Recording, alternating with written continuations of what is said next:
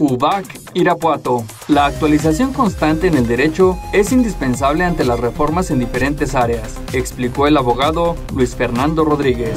Como abogados tenemos que prepararnos para ya comenzar a, buscar nuevos mecanismos de ejercicio profesional como lo es el ámbito de la oralidad, porque ya cambia la autoridad ante la cual estábamos acostumbrados a, trabajar, que son las juntas, para ahora vamos a estar frente a un juez y eso significa pues un mayor reto porque pues a veces somos abogados muy cohibidos que no nos gusta hablar y pues ahora tenemos que trabajar bastante en la cuestión de la argumentación, de la oralidad, de la oratoria.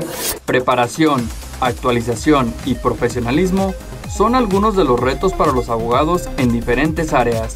El campo de trabajo está revolucionando y ahora tendremos que trabajar ya sea por plataformas, también plataformas digitales que las autoridades tendrán que abrir los buzones electrónicos y tenemos además que estar frente a un juez a quien tenemos que convencer de la pretensión que tendrán nuestros clientes. Entonces es el gran reto que tenemos enfrente.